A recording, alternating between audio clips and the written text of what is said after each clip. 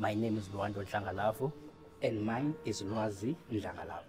We are the co-founders of Insurity, a company which is in insurance risk monitoring. We are monitoring insurance risk for the financial services industry.